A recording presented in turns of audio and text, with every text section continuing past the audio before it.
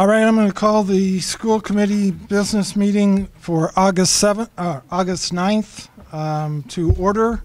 It's uh, 6:31. First item of business is the Pledge of Allegiance.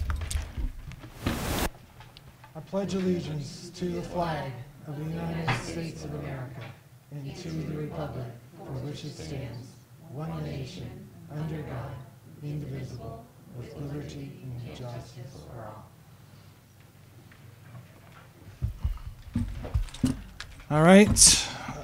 Next item is public comment. Uh, Doesn't look like the public has come to comment yet. So there's a uh, further opportunity at the end of the meeting for them if they show up. Next item is acknowledgements. And we have no acknowledgements tonight. Okay. Moving on, ahead of our schedule here, Young Writers of America Poetry Contest. Katie McBrien. I'm Katie McBrien. I'm a sixth grade teacher here at the uh, Quashnet School, and I am on a team of three. So my student body uh, last year was approximately 63 students. I teach ELA. And last year, our 63 students participated in a poetry contest sponsored by the Young Writers of America. And I just wanted to give you a quick um, uh, little brief background of who they are before we get into what this is all about. But as you can see, I have a guest with me here.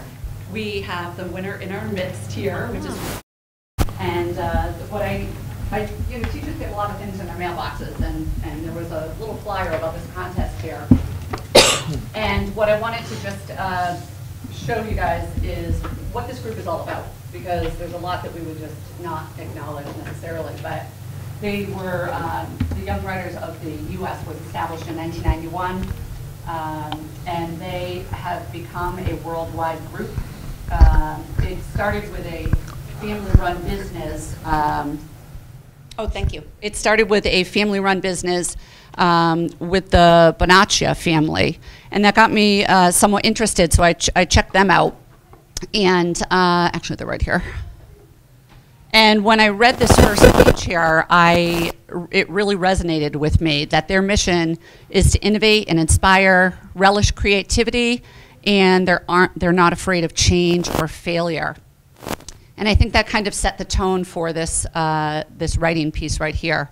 So before, um, let's see, on their webpage for the particular contest that we entered,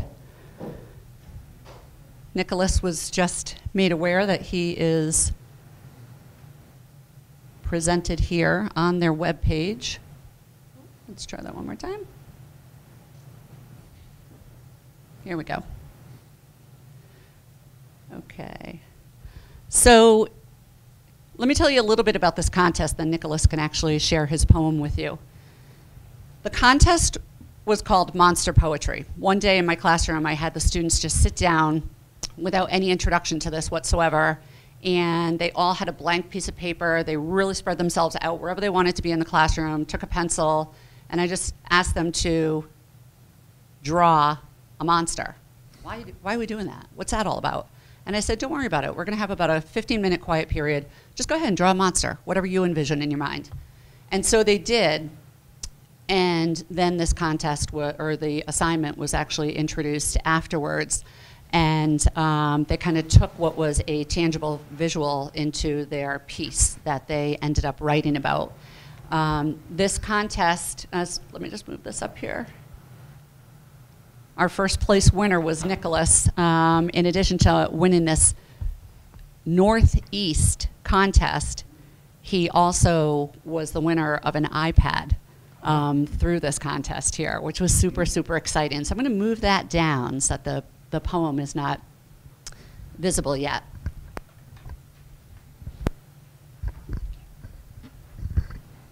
But what I wanted to just share was that this turned out to be a lovely piece of student children poetry that was open for grades four through eight, was it?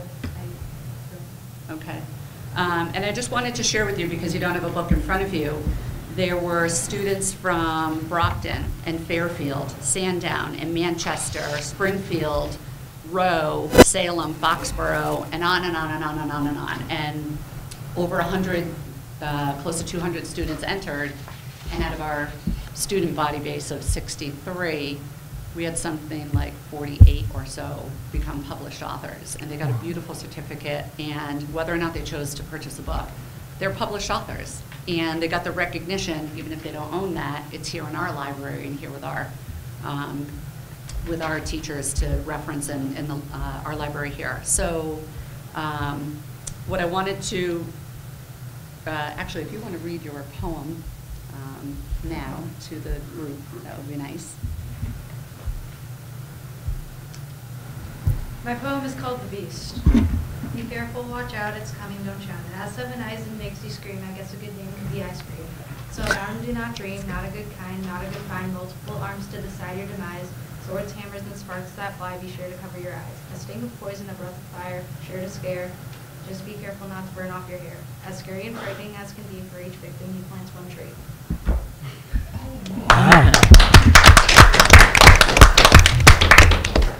And out of the hundreds and hundreds and hundreds of poems that were entered, there was, I believe it's on their website.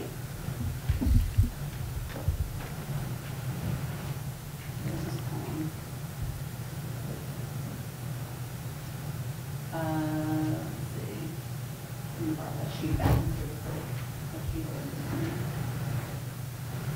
What qualified Nicholas as a winner was great use of rhyming couplets and triplets, good meter, the poem flowed really well, lovely use of description.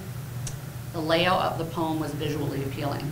So they had all of these things to consider when they were comparing Nicholas's to um, all the other students.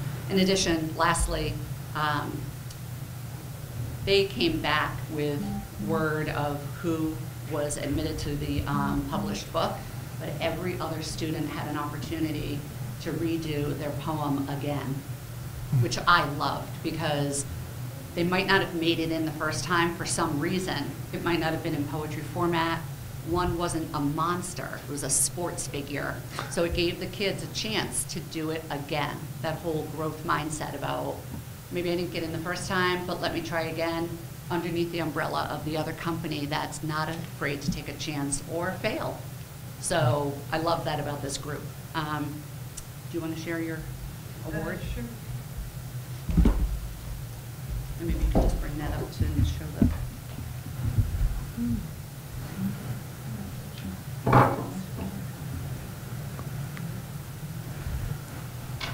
Congratulations, Nicholas. What was really fascinating was, as we were announcing some of the students who were published poets at the year-end awards assembly, and all the students came up, and we could see as a, as a s- a staff body, that the levels of students were all across the board. It was wonderful to just see how many students were um, successful in the, in this contest, in their very personal, personal way. Um, And what was really exciting was I was able to say, and the winner of the entire Northeast Region contest is in this class right now. And the kids just, and then it ended up being Nicholas. So congratulations. Did you get your iPad? Thank you very much. Congratulations, uh, Nicholas, and uh, c- congratulations to you and to uh, all of the sixth graders who participated, and uh, also to the uh, others who got published. Um, i- It's a great recognition and a great uh, program that you're doing. And, uh, Now I understand why we have so many trees here on Cape Cod. Thank you. Thank you. very much. Thanks, Kate.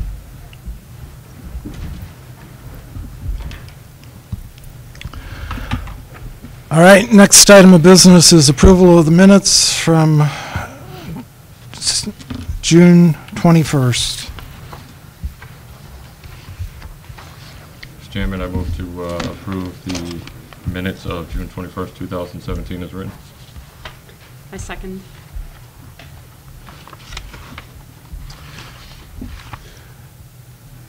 There's no further comments. How do you vote? Yes. Yes. And yes, so it's unanimous. Next item is update on the uh, technology refresh plan. Uh, Sean Maroney is here. Hi, everyone. You Hi. Hi.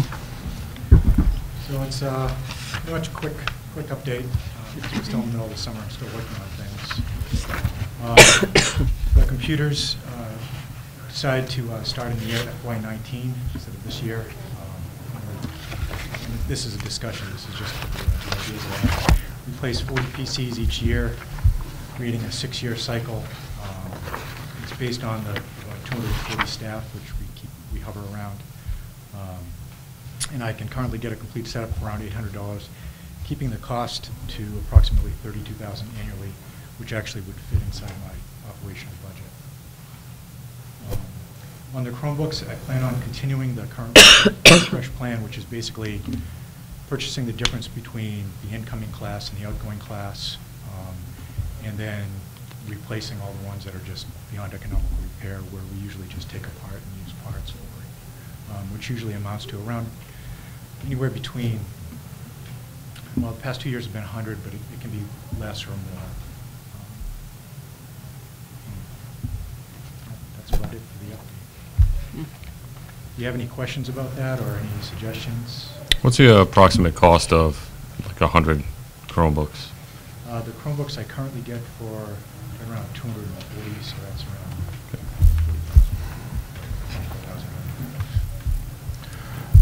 40,000. So I I had um, sent Sean an email uh, with a couple questions. Um, One, which he just affirmed here, was um, in regard to the uh, number of Chromebooks that you're purchasing, and uh, I had asked how many and what the dollar amount uh, was uh, expected for FY '18. Um, Looks like a- about 126,000 in total cost, is that correct? If I'm interpreting your email correctly? For, For FY '18? was just the Chromebooks? Yes. Uh, No, that, that actually comes up to 26. or 500, 26, Right. So, is that not what I said? This is 120. You said 120. Oh, I'm sorry. Little different. A little different. 26,000, yes. Okay. You just check and make sure you're. Yes. Which is approximately the same amount as, as uh, FY '17, Yes. as what you indicated. And, and part of the reasons why I'm sticking with the plan and not moving forward is, uh, HP just came out with a, basically it's a hardened Chromebook specifically for education. So I'm, I'm hoping that, uh, this year's, or next year's cycle, having moved these into the system, um, I won't lose as many or have to repair as many, or be able to, you know, the, the number should drop on the repair side.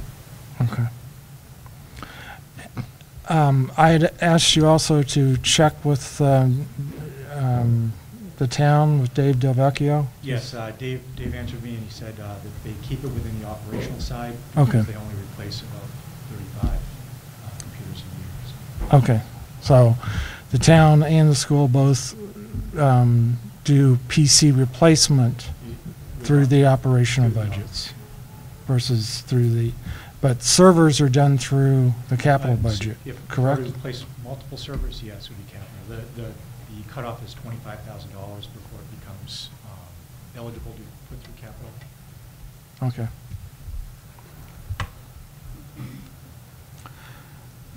And you're still working on the um, iPad re- uh, refresh plan, correct? Yes, that's still in the mix.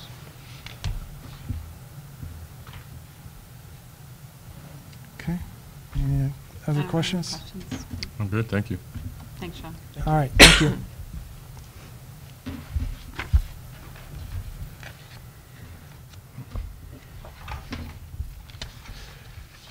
Next item is handbook revisions. Several here on uh, page five. Um, I'll ask that we um, vote on each of them separately. Well, vote on the first two together and then the last one separately. Okay? Turn it over to you, Superintendent. So the handbooks have been updated with the suggested changes from the last meeting, and then this is additional wording um, that is now in all of them about, uh, through our automated communication system, a parent guardian will receive a phone call and/or email when a decision is made to cancel school or delay the opening, and it is important that a parent guardian's contact information, phone number, and email is always kept up to date in our data management system, so that they can get those. That's in all the books. And then um, we realized there really wasn't anything that addressed volunteers in any of the handbooks, and this was sort of related to the CORI at the Coombs School. So they're all adding, in advance of volunteering in the Mashpee Public Schools, a volunteer must have a valid CORI on file at the superintendent's office and must also complete a volunteer application, which can be found at our on our district's website. Volunteers will be issued an ID badge or visitor pass, which must be worn at all times while on school premises. And it is important for all volunteers to respect confidentiality, to be punctual, and to communicate with the teacher or main office staff if unable to volunteer. And then the last piece on this is specific just to the Coombs School.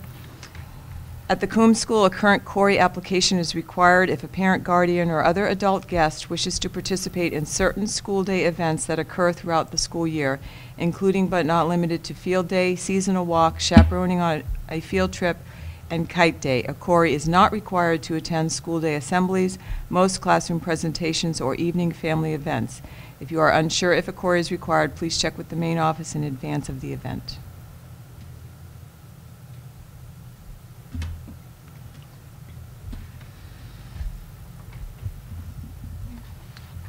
Questions or comments on any of these? I have a question. Uh, For the Coombs School one, Mhm. because I've been at a couple of field days, and so now every parent that comes to field day has to have a CORI? That was that way this year. I'm pretty sure I was in violation of that then.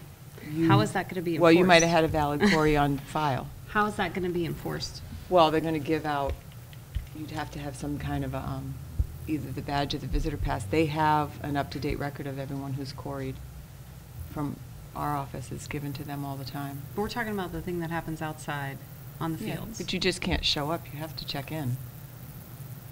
Hmm. Good Did to you know. just show up? That's a side conversation. Well, I- no, I just, I'm not sure that that's r- Practice. clear. It was Or prac- in probably practice. very unclear this year. We're Yeah. hoping to continue to provide clarity because it's new for that age group. Okay. Mhm. Yes, we should probably make the people aware of that outside of just the handbook. Yes, he should suggest- include it at open house. He- I believe it's in some of his, but you get them, his Yeah. weekly Okay. emails. Yeah, It was in the one right before field day, okay. but it should probably go on a flyer, of any kind of information. Yeah, it should always probably consistently there, be 'cause it- displayed. Yeah. It's, it's relatively new. Mhm. I don't think you were in violation. And the same with the fun run, you know, when he did his big fun run this year? Yes, he said, I asked about that, the Boosterthon thing. Yeah. That, he felt was different because the parents were kept, they weren't part of the fun run, they were kept to the sides. They weren't as in- integrated with the kids. Okay. That was what he told me. All right. I just want to make sure I understood it. I mean, I- I, I do know that that did cause um, quite a few comments the last couple of uh, years um, in regard to lack of clarification of what was the requirement. I guess the, uh, the question is the diligence in checking um, people in um, to make sure that they do have uh, or have completed a CORI, um, because I think to Nicole's um, defense and probably others that I've seen just walk, walk in and uh, uh, participate, particularly in the outside uh, events. There's not a, a- Yeah. a real way No to gate. Right. to um, prevent someone from doing uh, that. Um, I- Personally, I struggle a little bit with um, balancing the, the risk and the, um, the need, um, particularly if they're right out there in the playground. Um, You know, for the, the walk up to the turkey walk, I think it was. That was the first, I think, that it sort of. Kind of bubbled up. surfaced. Yeah. I, I guess I could understand that because, you know, the kids were behind the building, through the woods and so forth, and it would be a little more challenging uh, for the um, teachers and administration to monitor uh, what was going on uh, during those walks. Um, But when it's right out there on the playground, I, I struggle personally um, to see the difference. But, uh, I mean, if we're going to do this, there needs to be a more efficient way to making sure that the message is communicated and that the people know that they have been um, uh, queried. Um, Do we send them anything afterwards? Every three years. If you've been queried, you get a reminder on the third year that you need to redo another one. Right, but once you've done it, do you receive anything from the school that Well, says? you get a badge. You get a And if you're out in the playground without a badge or a pink badge, Or a- thing, a visitor then you're not- pass. You're not queried, according to us. you know. But that's based upon having that person It's check, to all the time. ch- check in at the um, school office, right? Well, I, I hope we're not going to be escorting grandparents off the premises because they don't have CORI checks. I'm just saying it's, I can see why we haven't had it in the handbook, but I'm real curious to see how we enforce this. So, People are pretty good about coming in to get the query because it doesn't take very long and it's a very short application. So we really haven't had any. It can be done in about 10 minutes Yeah. now, correct? Yours came in, I remember one day. Yeah, it's about 10 minutes, I think, is what it Yeah, takes, right? um, Yeah. So I mean, what I'd like to see if it were a field day and you Yeah. had people show up who weren't, maybe there's sort of a, an audience, not fenced in True. kind of thing, but Yeah. Where you could still watch from a distance versus really getting involved with. or some the CORI kids. forms at the door. Yeah. Well, it still takes time through the system. To, to, But- to go through. Well, anyway, I there. think the people in this room and the people that you're used to dealing with are not the people I'm thinking would be unaware of that policy. I'm thinking generally of sort of, confusion, yeah, Mhm. Mhm. so. So, uh, so I guess ultimately, does the principal, the principal though has discretion, correct? To waive somebody's, yes. To, to allow them Mhm. to, to participate? Absolutely. Okay. Can that be incorporated into the policy then? That the building principal wa- has uh, discretion or ultimate uh, um, authority over this? Yeah, well, it would- it's implied, because it's his building and he's in control, but, um, because if you say building principal basically has discretion to waive that requirement, then that kind of like, then all of a sudden you have them showing up because Yeah. they didn't listen to his email Right. for the first Yeah. four weeks. And then that's kind of, I think it's fine as it is, Don. It just, um, like I said, I understand why we have to put it in the handbook. I just, Well, we just need to make sure that it gets communicated multiple times over and over again, so Yeah. that people don't show up and find out that they didn't go through this. yeah, you might as well just start passing out. I mean, I remember we got our first one when we were in the kindergarten open house or something, you know, when you Yeah, come in for yeah. that first meet and Mhm. greet. But I think it really just needs to be, you will not be able to participate in any Coombs School events unless you have one of these on file. That wasn't, it definitely wasn't put to me that way three years ago, so I think we just need to be maybe clear in that orientation piece. and it's only a change as of last year. Uh, Yeah, so- Yeah. And I think what really happened was there was, because this, the middle one here is already a policy. Mm-hmm. We set that, what, two years ago, when we were doing the fingerprints and all that?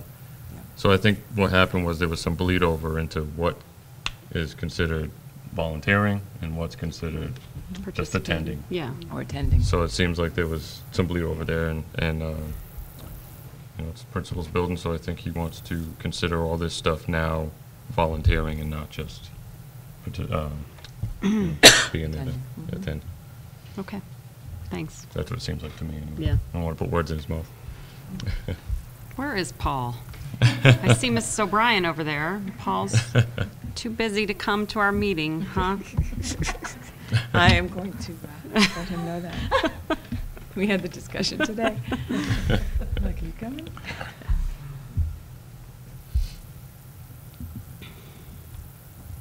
I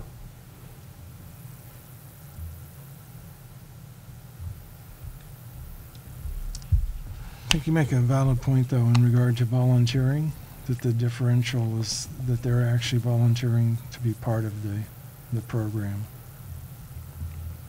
Yeah. I think Chris made that point. Yeah, Yeah. so if that's,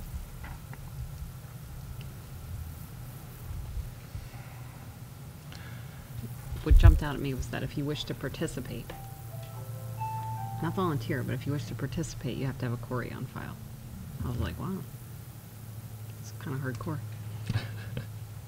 right, but in this case, y- y- we're basically saying they're volunteering.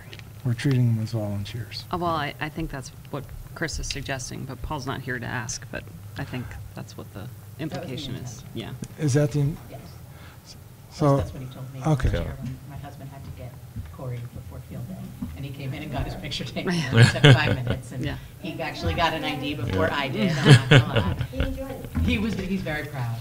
Yeah. But, yeah, I think, again, it's just the publication of it, and Mr. LaBelle does those awesome weekly newsletters that he emails to families, and if he can just be kind of a give every week, it's in there as kind of a standard, Beginning. but then when there is field day coming or kite day coming, he highlights it in bold again. Teachers are sharing it with the kids. We just all need to Yeah. put it on social, you know, Facebook and Twitter and Right. tell people. Yeah.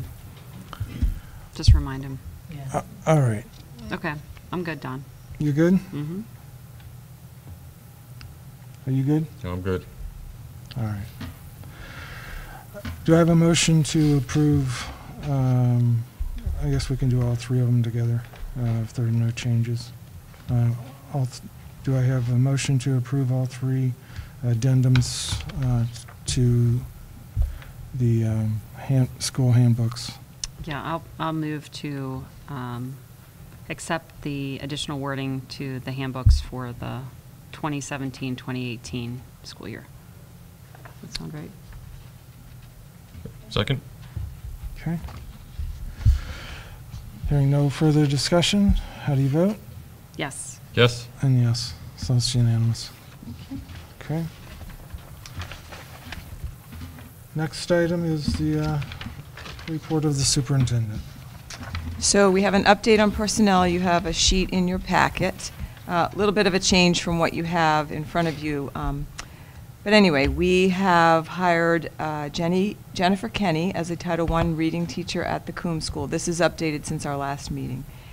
Um, Your chart does show a Samuel Costa as a music teacher at the Quashnet School. In the end, he accepted a position closer to his home in Somerset. Um, And then Danielle Burton is a math teacher who is at the Mashpee Middle High School. Um, We had three resignations since the last meeting. We had Patricia McGrory, who was a recess monitor at Quashnet. Christina DeLumba is a paraprofessional at Mashpee Middle High School. And Lisa Holmes is the health and family consumer science teacher at Mashpee Middle High School. We do have um, a couple of shifts and a couple of hires since this sheet was printed. We do have a new English teacher at Mashpee Middle High School. Her name is Brianna Drake. She came on board yesterday, and then also for the Health, Family, Consumer Science teacher at the middle high school, William Stolowski. He also came on board yesterday. And then the Elena Sheehan Boyd is shown under the Coombs School as a halftime music teacher, halftime Title I. Um, Based on a reduction in our funding for Title I of about 40,000, she is being shifted to the full-time music slot at the Quashnet School.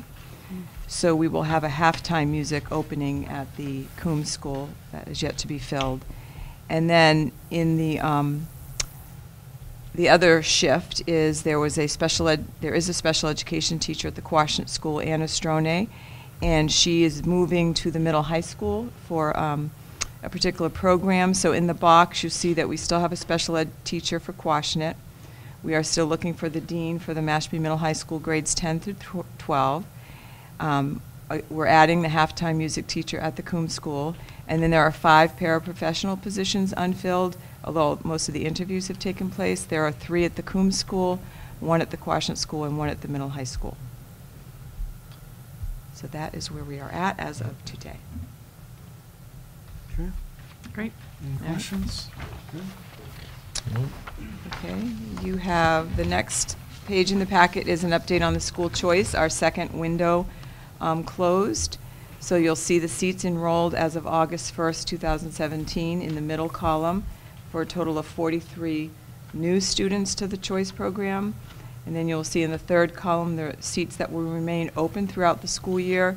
If a situation arises and someone um, needs or wants a seat at one of those uh, grade levels where we have an opening, they will apply through the school choice program application, and then, um, in most cases, probably receive that seat. In overall total, when you look at the choice students we had this year, in total, we had 70. We lost three seniors who graduated, and when looking over the list, two students moved. So those 65 with this 43 is 108 choice students.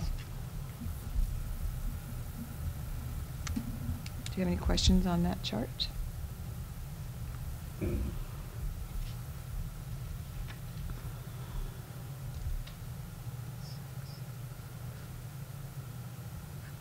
So, um, based on this note at the bottom, the asterisk, so we, Mhm. we had to turn away seven? Well, we would have turned away five in, in kindergarten, yes, and then So there six were- applications in grade one. We took five, so that's one more. And then in grade 10, there was one. Yeah, okay. Mm-hmm.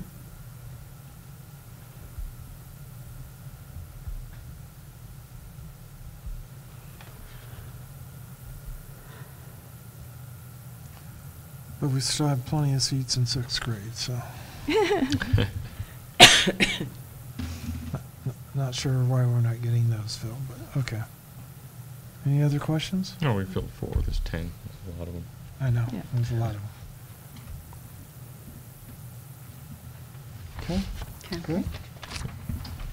Next is an update on Camp Falcon. The final day for Camp Falcon for 2017 is tomorrow. And um, just gathering, thank you to Beth Wonder for gathering some quotes today from the participants. Um, I'm just going to share some of them from students. This was a third grader. My two favorite camps were board game, brigade, and farm to table. In board games, we played Life and Clue. In farm to table, we learned how the environment, food, and cooking are connected, and we made scones. In a fifth grader says that I loved one act plays because we could be crazy and silly. Another fifth grader, my favorites were scrapbooking and one act plays. I love crafting and I like the improvisation part of one act plays. Another fifth grader said I love fun and fitness because I like to move and be active. And then overall, some highlights the campers learned how to reuse and recycle items to create beautiful art. They picked vegetables from our school garden to make delicious dishes in farm to table including vegetable sushi. I think that was yesterday. Students learned about sea life here on Cape Cod and were able to see a live horseshoe crab up close. Students worked together to improvise a play that they performed for an audience at the end of each week. Campers use Legos to make movies in stop motion movies and a 3D printer to bring their creations to life in 3D drawing. Students showed up each day full of enthusiasm and left excited, maybe not today, to share what they had learned. Staff and students thoroughly enjoyed Camp Falcon, and the attendance this week was uh, 55, which they had anticipated being the last week it would be a little less, but um, it's holding strong compared to last year. Yeah, definitely. Yeah. More than we expected this week. Yeah. This week is usually, sometimes people get tired or they get other plans. Yeah. More than expected, so it's great. So do we have any plans to evaluate the, um, the camp with parents? You know, send out some sort of survey to ask for? Yeah, we could do, we'll do a Google form. I know last year, we didn't survey the students, we did have a debriefing with uh, teachers to find out what worked and what didn't from their perspective, but um, absolutely, Yeah? yeah. Okay. Can we get a total number of kids that attended across all programs? So kids times programs Sure, to I get, can certainly get that. I think it was like one thirteen and actually registered. Right, but And times, it actually, yeah. actually attended times the number of programs that, just to get some sense of, We have all that, yeah. Mhm. We took attendance. Every day. Just for that purpose, for the data, really. okay, Mhm. Some kids sign up and don't take it, so. yeah, all right.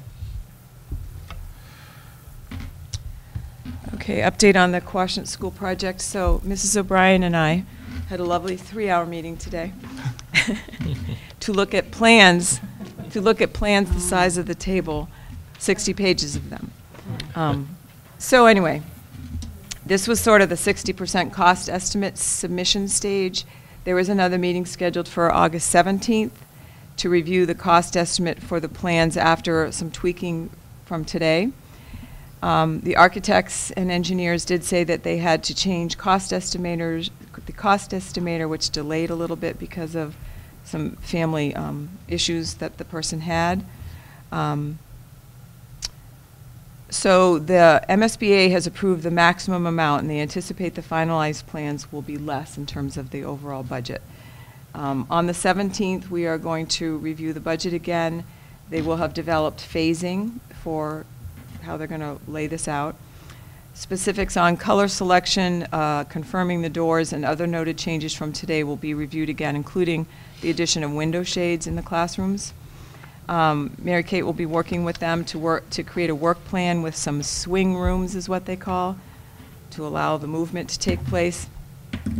The town will be hiring a construction manager at risk, which I guess is something that, um, it's better for the town because it gives us input on any additional requirements that we want to put on a subcontractor. It doesn't end up resulting in any additional money. There's monies in there, they said, so the subcontracts will go out for electric, plumbing, mechanical, the windows, and the roof. And by having this construction manager at risk, we get to pick the subcontractors and also add additional qualifications. So it is a plus for the town to go with this model. The construction manager at risk generally gets about two percent of the construction cost as a fee. Um, They guarantee the um, project comes in at or under budget and also within the time frame that is established. That's a whole DPW side of things, so. Bids are going out in November. Uh, Next summer, this will be a construction zone, no one can be in this building. So my office area will be probably relocating themselves temporarily to the high school, and I believe the Quashnet administrators will go to the Coombs School Guidance area, um, because we really can't be here. And then the hope is, even though the project sort of shoulders before summer and after, we prefer all the shouldering to be at the end of 2000, of the 17, 18 school year versus interrupting two years.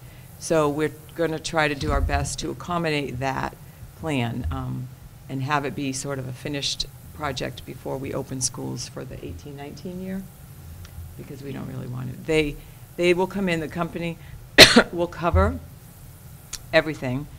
Uh, Everything has to be off the walls, but you know, there's whatever, 40 years of dust in these ceilings, so it's going to be um, unpleasant. Uh, So the next meeting, which will probably be, didn't you block off the whole day for that? Yeah. Yes, I believe you did. Um, Will really be sort of laying out um, the plan so that we can really, you know, we'd like to go full, full boat at April vacation on. It just depends, because some things will sound like a jackhammer, and that's not going to be good. On the roof. Oh, like a a dental drill, actually. So, um, that is the update. All right, so All that, right. that- that next meeting is the 17th? That is the 17th at 8:30. All right. Yeah, so if Chairman, you'd one like to question. come. Yep, Um, I would assume that the plan is to move Camp Falcon to KCC next year? So, that has not, we haven't talked about that, whether it would be there or at the high school. Okay. We had at the high school, we probably could use some of the technology up there. It's not a bad idea. And, you know, it's littler over there, it's, you know. Yeah. And the rec department camp has to be somewhere, so they're gonna be over there too. Oh, yes, Yeah, yeah. he has flags to go with it. The hard part too will be readying the building for the eighteen nineteen school year in terms of the DPW cleaning schedule and, Mhm. you know, so that's another thing we have to work on. they did make the suggestion of a swing space being the locker room, which Mrs. O'Brien was not too keen on that being made into classroom area back there. I can't quite fathom. No, I, I think, if it results in something that's permanent that we get, that's left behind for us to use, but, because they will do things, so, yeah. But they are very focused on um, being respectful of Mary Kate and her concern with learning, so that's a good thing. They Good. understand that they will work around, they can do nights and um, whatever. So, Well, ni- n- nights and weekends are included in the budget, right? Yeah. Mm. So that was mhm, part, part of it. Right. Yeah. All right. Well, be very interested to hear the schedule. Yes. Oops. And then the last thing in my um, report is the DPW equipment rental. So Hope and I met yesterday with Dawn Thayer. It was yesterday, right? I think it was yesterday. With Dawn Thayer and um, Catherine Laurent, and went over everything. And Dawn, through the rental, the rental account, will set up sort of a side um, piece for us. What we have to do before we actually lay it out is sort of come up with what would be the reasonable charge. We, we would focus on classroom technology, auditorium technology, or gymnasium technology, like the scoreboard. But you have to basically come up with the cost, how long the life of it, how many, um, you know, outsiders using it, to come up with something reasonable. We're not supposed to make money on the deal, so we'll, we'll work on that. It's really the auditorium, it's the big one, Yeah. so. Okay, so Yeah. it's m- m- more to, more to come on that. It's a work in progress, yes. All right. Next item, eh, uh, before we move on to the next item, any other questions uh, for the superintendent? No? All right, next item is unfinished business, the MASC policy manual update proposal. So in your packet is the, uh, so, uh, so, do I understand correctly, this was an unsolicited proposal, correct? We did not reach out to them? Oh, no, we reached, we we re- reached We out to did? this. Uh-huh. Okay, Yes. I wasn't aware of that, but okay. All right, was because we were curious. We started thinking that we would meet regularly and review our policy manual, and, but um, Gail Hannon pointed out in 2012, I think was the last time, and that it's, you know, well worth this um, approach because they um, sort of know everything that's the latest, uh, any changes, and making sure our policy book is inclusive and complete.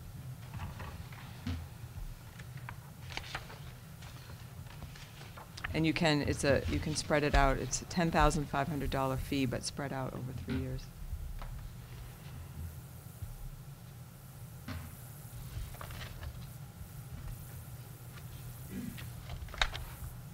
So who was here last time we did this? Don? Were you here? uh, I think. If it was two thousand twelve, I don't think. I think it was, I think they were just completing it. Scott. um, When I joined. Because I know that there was a significant rewrite of all the policies um, and streamlined a, a lot of what, uh, a lot of the verbiage from what previously was in there, because they used to put everything plus the kitchen sink uh, in them, and uh, they got narrowed down uh, a lot. Um, No one online and to do it. What's that? We don't have hard copy at the time, so we've got it on to Right, and, and they, they had it in, as, as I recall, they had it in Word. Um, So you guys believe this is warranted? Um, I, I, you've gone through the experience, and you can comment on that. Yeah, district, um, we just jumped into this this year and did exhaustive research. One of the school committee members is an attorney, so she had real strong questions about spending the money when she's an attorney, and she, she's amazing and can do a lot of this. But what really sold her, she spoke to the guy at MASC and got a lot of questions answered, and what spoke to me was the, your policies are your protection, And so these, this is what they do, so you know you're covered in terms of what we have to have in our policies for kids, for families, for staff, um, by doing it. And to me, that is money well spent because we're not attorneys, you know what I mean? So, um, it- we went with it, and I think everyone is super pleased with what the outcome has been. Again, in another, another town. So, so was that the first time that they had done it? though? In that town, yes. In that town. Yeah. And most, like I said, most of the, the four were way on board, but the one who was an attorney was like, well, this is what I do, I- and that's why I can volunteer, and I feel like it's what I bring to the table. They will still open their policies, just as they always had. So you still have local control over your policies. What they do is make sure, they give you what needs to be in there, and then you still open it and take a look and see what, if you want to make changes, it's still up to you. You don't have to go with what they say. But at least you know when a bullying change, a harassment change, something comes down, some mandate, you know it's going to get covered. So that's my 12 Uh, cents. I have a question, Don. Yeah. Um, so you may or may not know from your experience, but, um, when they go through it, if there are state level, um, policies, and say some of ours are out of date, do they replace it, or do they just give you a laundry list of stuff that you need to do? No, they do the work and have it all set for you, Yeah. but then you still have the option Well, yeah, to go in and do what you want. And on the local level, obviously, that's on us. They don't know what our local Right. policies are, but on the state level, it's the same for everybody. Exactly. So I was hoping that if they're gonna charge us, they need to at least. They do. Yeah, okay. They do. And if you want, I know, people I know from that other Mhm. district would be happy to talk with any of you, particularly the um, person who is the attorney. Sh- If anyone is questioning or concerned, she could at least answer some of those questions. But I know at MASC, they'll do it for you as well. Yeah. They'll answer anything you, because it is a lot of money, Yeah. you know, but Well, I guess a question I have is, how, how often is it recommended that you go through this? no, I think it's an ongoing service. Well, uh, but this is, I mean, there's, they're basically spreading the cost through 2020. So for the next three physical years. So I wouldn't assume, one, I, I don't assume that it's going to take three years for them to complete it, but I guess I'm unclear in regard to, are we basically hiring them for three years? And that if there are changes that take place during that three-year period, they would bring those forth to the committee? Or is this a one-shot deal, which I believe is what happened the last time, um, and then they kind of disappear? You asking me? Yes. Okay, so what I I- think. I don't know. No, what I think, my, my recol, because I sort of tuned out at this part of the meeting, I'm not gonna lie, because it didn't really apply to me. But what I think was that, that upfront cost, that, you know, ten-five, is to do the big, big kahuna, right? To do Right. everything. And you can spread it out over the three years because they understand budgets. But I think then there's an ongoing cost to continue that service in terms of updates that is not anywhere near that same price. Do you know what I'm saying? But again, I think where I came from, we looked at policies differently in that we opened, and maybe you do that here, I don't know.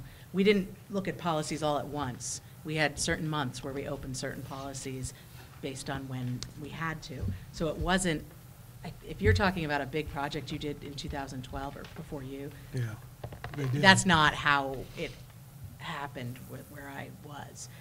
But what it says here is they're going to take all your current policies, they're going to put them together, they're going to codify them, make them the way they need to be, and then work with you on what you want them to ultimately look like.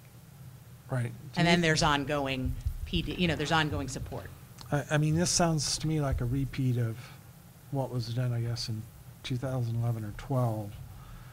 A- And my, my question is, do we need to, at this point, I mean, it's been, what, five years?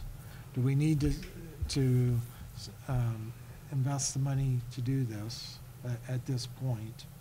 Um, And then ultimately, you know, as with anything, it comes out of date is before the ink is dry. you know, I'd much rather, I, I guess I personally, no, to me, there's two options. You either do the big thing uh, and spend your money there, or you do more of an incremental um, effort, which uh, is what I've heard a lot of districts do, which is, I think, what you were just alluding to, which is kind of a rolling cycle. Mhm. So through the year, they cover, Yeah, every They try month, to- there's they- maybe three, it depends on the schedule, but maybe three policies that get opened. Right. And then if they don't finish it that month, they'll say, oh, I need to cover, you know, I need to put it to the next month or whatever. But yeah, that's, that's. kind of a rolling cycle versus. Yes. I, I believe our practice has been, once it's done, it's done until something occurs that we have to reopen it. Is that Ah. a fair assessment? I, I'm not on the policy committee, so I'll, I'll defer We to you. just got You- put on the policy committee a couple months You're ago. looking at but- its newest members. And the time that I've gone to any policy meetings, it was based on something that we needed to Address. address to the Mhm. policy. Right, ver- versus a uh, ongoing review. I think, So- Sorry. I was just gonna say, I think it would be um, good to find out from those who might have been here what was done in 2012, because, and then push this, you know, off in terms of coming back with a little more information. And also to find out if there's ongoing Yeah, support. support after, if you Mhm. do it, Mhm. one big shot, then what's the ongoing support? 'Cause I am ninety percent sure that there is, again, for a smaller fee, yearly. Right. Right, but I don't think we're paying that now. No, so that's what. So, know, so, can so, so, investigate. you know, part of the question would be, shame on us, when we did this last time, should we have been paying for that ongoing quote-unquote maintenance? So that we don't have a, a bigger nugget to deal with. Um, And you wouldn't think that we had a huge nugget because, you know, it's only been five years. So if our book was brought up to date at that point, um, you know, certain ones, yes. Yeah, certain ones, obviously, Mhm. Yeah, I mean, it was a significant change last time. right, it was very, uh, It's a big book. Did we use MASC? It was bigger. Oh, Same, same gentleman. Yeah. Yeah. I- I, Yes. I mean, personally, I wouldn't mind having Mr. Hardy make an appearance at a future meeting uh, if the rest of the committee would like that. Well, I guess I don't, I mean, I guess that would be fine, but what's missing, I think, is the rationale for the proposal. So we're looking at their proposal, but why did we request it? When was the last one we did? What did we spend? What did we get? Why do you feel that we need this? Because as a school committee member, if you tell me that we need this, then I'm, I'm probably going to defer to you, uh, to your judgment. But I don't see anything in this packet that explains to me why you requested the proposal or what we think we need help with. I think it was uh, feeling like I wanted to start going through on a monthly basis a section of the policy manual with the policy committee, just so that we are looking and know everything that's in there. And then in a conversation with Gail, she said, well, they have, you know, the service that does that with you, and they have all the latest, they have a better knowledge base maybe of what's, what's changed in a policy. Um, So that's where it started. I really kind of did want to just, you know, go through it, but, um, but we can get some more information on it. Okay. Yeah. That's 44 Chromebooks that we wouldn't get to buy if we spent that money. So, I don't know, I was just thinking it might be uh, good to know. Yep. Yeah, so I think it- it's probably a good idea anyway with the, without the other two members here to table yeah, this, no, because yeah. I. Yeah. It I'm is not set- ready to make a It is dec- set uh, for a vote, but I think, um, I- Yeah, I you think know, we'll. voting on anything that's gonna cost money without the other two members is probably not a good idea. No. A- And, you know, wor- worst-case scenario, um, MASC will be at the uh, conference in Oh, November. yes, November. It might be nice to hear uh, from other districts like us. who- Yeah. Yeah. So, um, we'll, we'll table Good idea. this uh, till the next meeting. We'll have a further discussion. Okay, All right. moving on. Under uh, new business. not sure why it's under new business, but, um, the uh, wellness policy, second read and vote. And I had a email from Mr. Gorman. What did I do with it? Uh, Let's see. Who was not able to attend tonight. Um, My only comments are for the wellness policy, as I would like some more meat include, included regarding recess requirements. I know we utilize recess to ensure we are providing adequate time to the PE requirements for students, but we do not document exactly what we are doing. I have some serious issues about removing students from recess for discipline and some special instruction periods. I do not know if this is occurring at other schools, but it is at Quashnet. I think that recess time should be invalid, in, and I would like to have a discussion about it.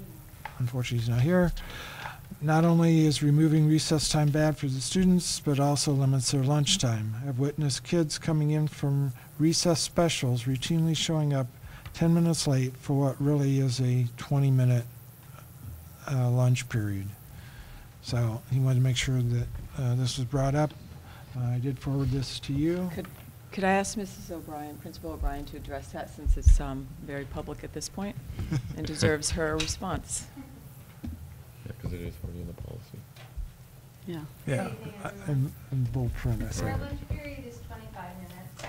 Um, so the only specials that we do have during any recess block would be for fourth, fifth, and sixth graders who receive either band instruction or strings.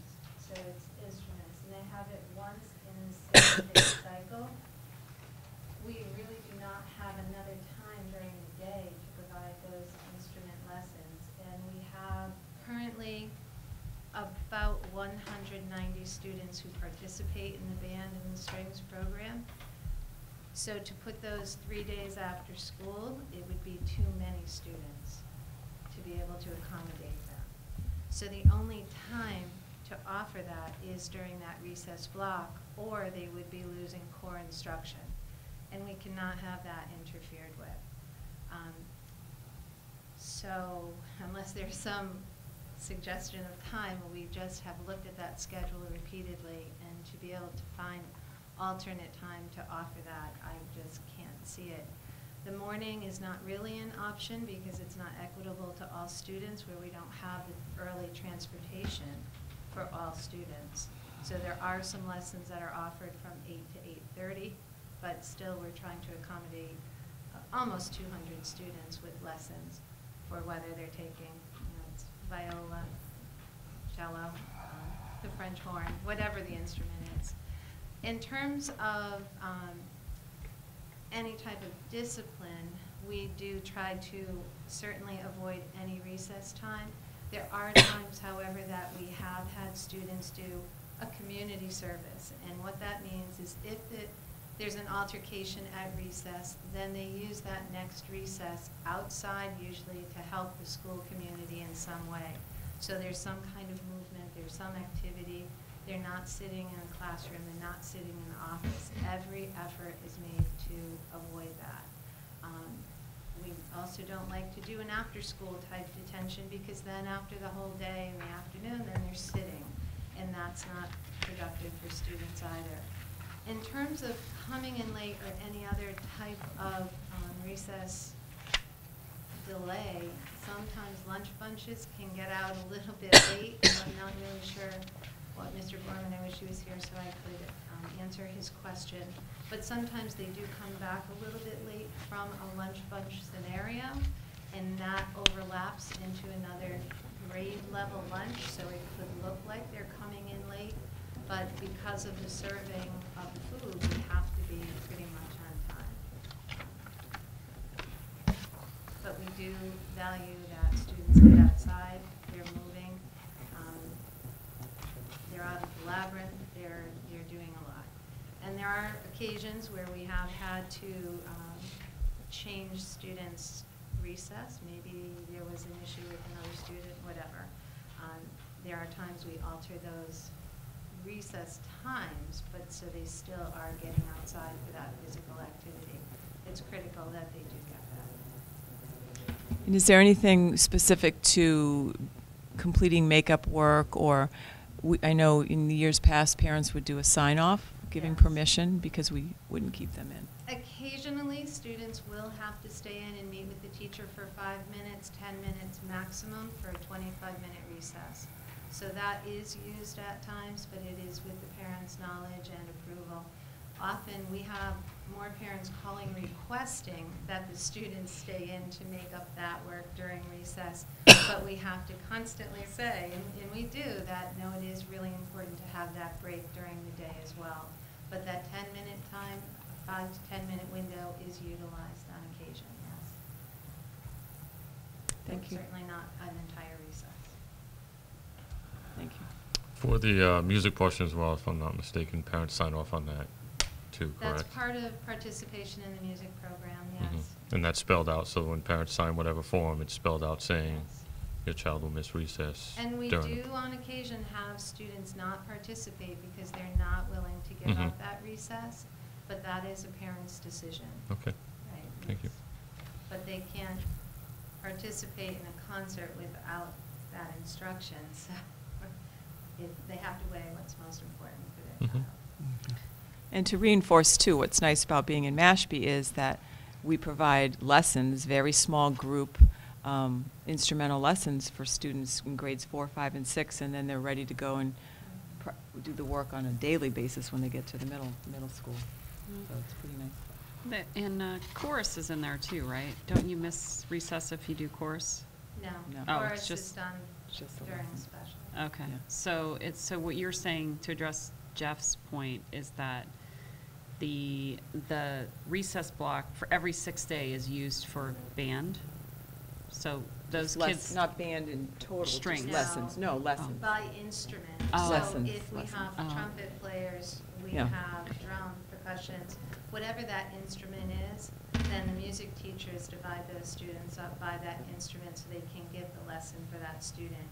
And depending, we have so many strings players, on day one, for example, the advanced students might par- participate in a lesson.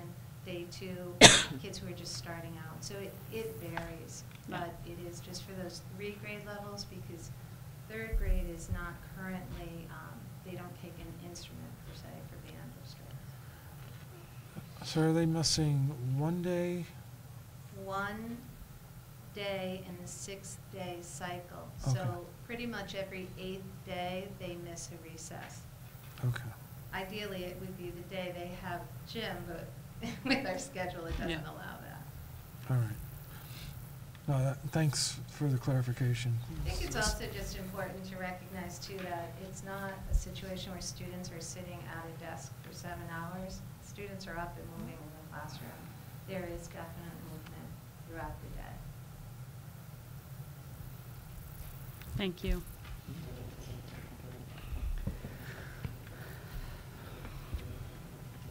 Okay, other uh, questions that members of the committee have? No, sir. No, I don't have any. Okay. Do I have a motion to approve the second reading of the wellness policy?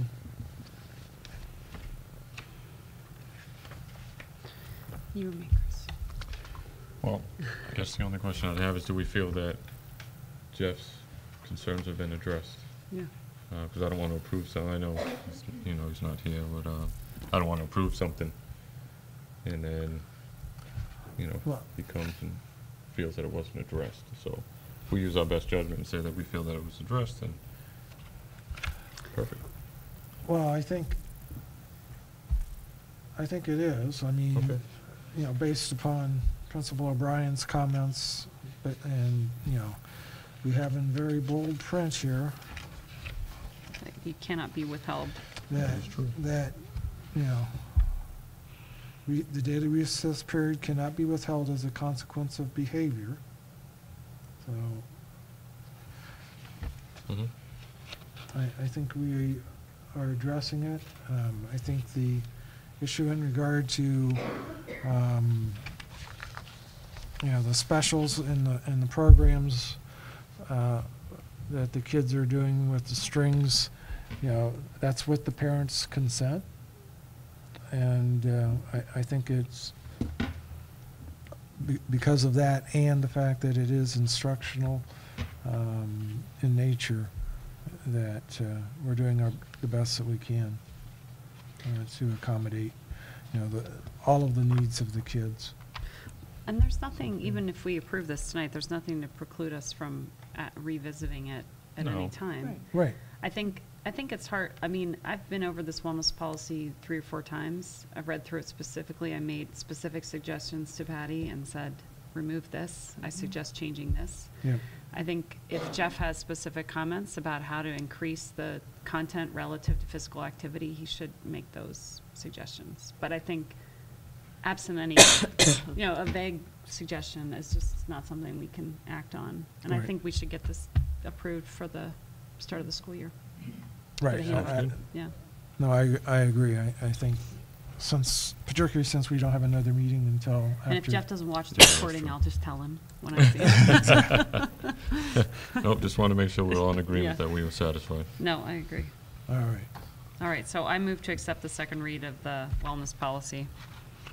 Second? All in favor? Yes. Yes. And yes, so it's unanimous. All right. So we will have that in place for the beginning of school. All right. Uh, School choice policy. We have a second read on that.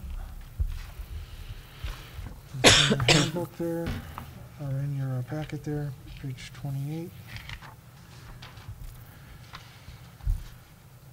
Oh, I move to accept the school choice policy second read, JFBB. A second.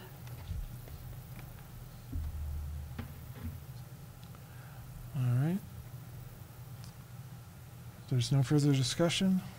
Nicole, how do you vote? Yes. Yes. And yes, so it's approved.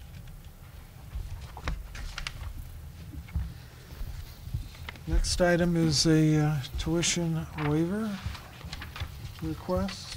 We have a letter here. Uh, So you have a, you have a request for SH to um, be accepted as a kindergarten student in the Mashpee schools with a tuition waiver for school year 17,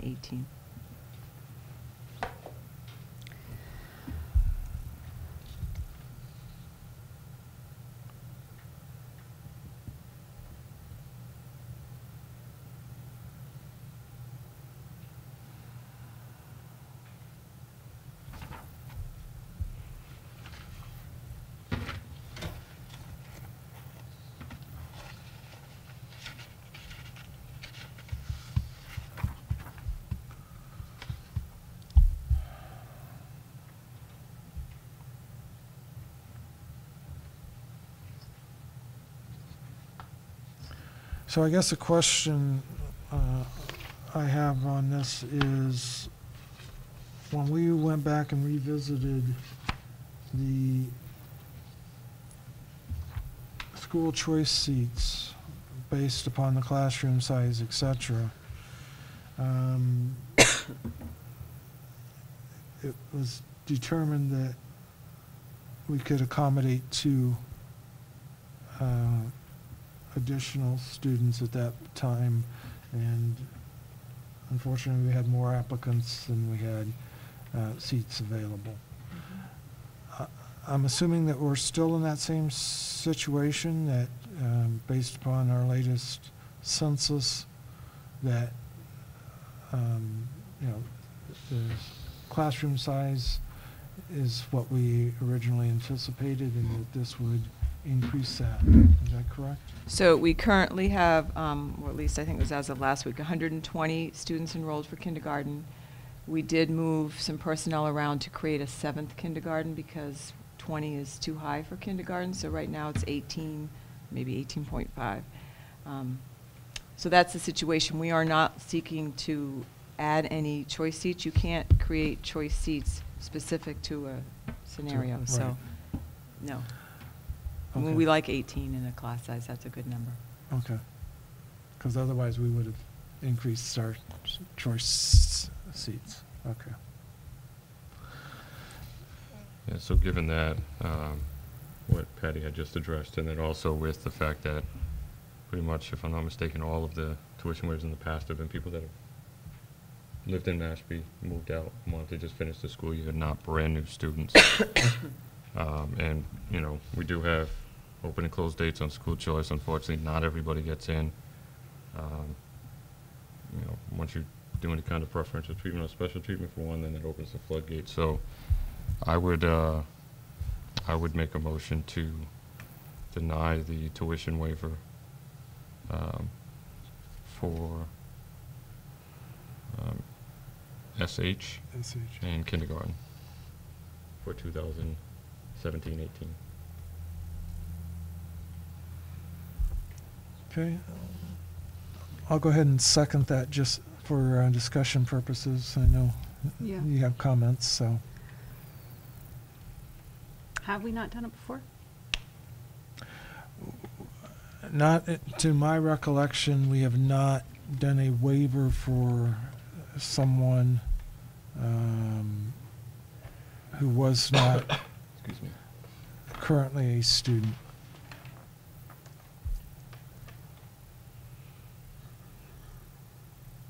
Is that correct? We actually had one last year We did? for a teacher at the Coombs School. Oh, okay, I stand corrected then. I don't, That was, excuse me, I don't that was a recall. little bit of a different circumstance, though. I believe. So, I would Because love we to did know not this. have school choice seats, period, in that grade level. That is correct. Um, There were no, sc- no seats available in that grade level last year. So how is that different? Because nobody applied. Mm. So if we have Oh, I see. seats, everybody else that applied or wants to now apply can say, well, you had seats, you let one person, so- but there were no seats, period. So nobody applied, nobody could apply last year. Okay. Right, Which, which is part of the reason why, You made the exception. wh- why we made the exception then, but also why we revisited school choice um, quite a bit this year. In terms of leaving seats open and stuff like that. Trying to, ma- trying to, trying to make sure that we had as many seats as we could uh, optimally accommodate. And initially having seats in, in every grade level. All right. Where last year we did not have choice seats. Yeah, I was a little, um, I, I was a little confused by the request because I didn't understand how we could grant a waiver for a seat we don't have. So. h- can Well, it's some- not a choice seat, it's just, can this child attend the Mashpee schools? Without having to pay the, per pupil, the tuition that would be, could be charged.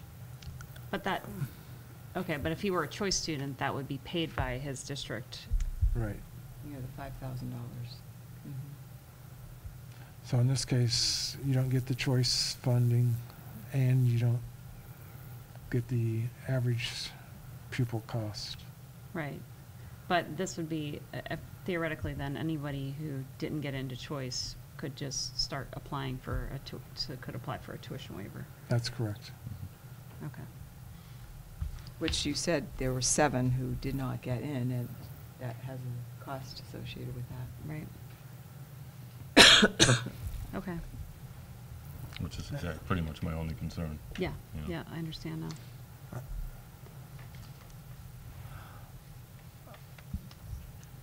I mean, it's, it's not the optimum solution, but, um, yeah, I think from a practicality standpoint, it's the one that we have to, to go with a- and treat everyone fairly. Mm-hmm. No, I think understanding all that, um, with that context, I think it makes sense. And the student would be able to um, apply next year for school choice again. And would have preference, given that a sibling did get accepted for grade three. If their seats available. Right, if there's seats available.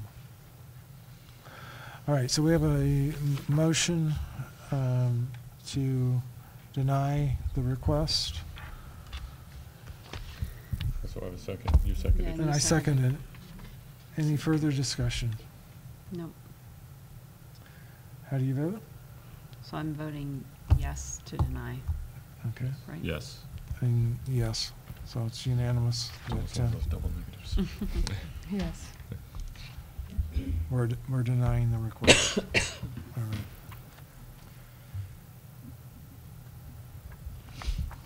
All right, any, um, any other items that, uh, committee members wanted to bring forward? Uh, subcommittee reports, et cetera, at this point? No. No. I will get together with you tomorrow, though, because I'm attending the FinCom meeting for George. Oh, yes. So if we have anything to report or anything I, you want me to report.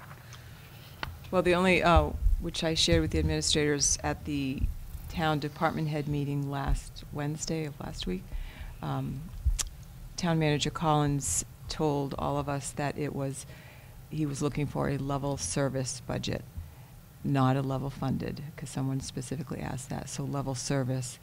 And I know the time frame is, um, the principals have to have theirs to Paul Funk by August 22nd, and then there's a much earlier time frame. So at least, at least initially, it's level service. He's a featured agenda Presenter? item on tomorrow, so Well, okay. I'm hoping to get more details on that. Okay. A- And you did mention that our Title I funding for FY eighteen has been decreased by forty thousand? Yeah, about 40,000. How about the Title II-A? Title II-A was also cut by, uh, maybe fifteen? And Title II-A um, in this district is used to support um, a teacher, um, so in order to have smaller class sizes. So there's a specific teacher that every year is- is in that grant, so. So uh, that's fifty-five thousand? I'm guessing on the fifteen. Oh, my okay. sixth Ru- ru- So- I'll, I'll hold you to it, but, so roughly fifty-five thousand Fewer dollars. fewer dollars than what we originally anticipated in our level funded budget. Or supporting our level funded budget, because these are uh, grants that are not part of the uh, town appropriation, but pay expenses uh, for the uh, education of our students and operation uh, of our schools, so if it, we don't get it from one place, it's gonna have to come from the other side. Okay, Okay. that's, hopefully that's the end of that bad news. Well, not thinking it's going to be. Still- Seems to be Still early, trend. S- That is still early. I think there's going to be fewer and fewer Federal dollars level. coming Mhm. from the federal government to support our work. All right. And I think anyone in Washington would tell you that. Mhm. I agree. Can I share one more thing? Yep, So I just want to share out that we had a a little school committee retreat last Wednesday at the Riddle Room, which was um, fun and interesting. It re- required teamwork, and um, everybody sort of had pockets of strength that showed at different times. So we did make it out of the room, and it was uh, a good experience together as a team, so. And our chairman turned the lights on. He so did. that's- Thank Yes, God yes. Thank goodness Yeah. he came when he did, Yeah. Because that was a rather Can I say too that that was my first day of work? Yeah. Put that out there. Part of the initiation. But we got it. Yeah, we did. It I was good. just a little concerned that you guys were stuck in the dark, so. Wait, Maybe we were enjoying it, you know? Yeah, get over here, George, we need the flashlight. Yeah, That's great. Anyway, Good. It was good. And two and a half minutes to spare. Yeah. Yeah, Exactly. Yeah. So, It was good teamwork. Yeah. good, good, good thing uh, MTV was not there. That's true. For that one. All right, if there's nothing else, um, we are going to be going into executive session. um, for purposes, for two purposes. One, to uh, discuss strategy regarding uh, litigation, and also to discuss strategy in respect to bargaining with uh, Unit A. We will not return to general session uh, after um, that executive session. I see it starred on here. It should not be starred on here. I don't Where's believe that that? there's a, a vote required. Oh, yeah, no, there's no votes. So there, there will be no votes in executive session. Um, But we will not be returning uh, from uh, executive session. So uh, do I have a, a, uh, So moved. okay, I second. all in favor? Yes, Yes. And yes, thank you. thank you. Thank you.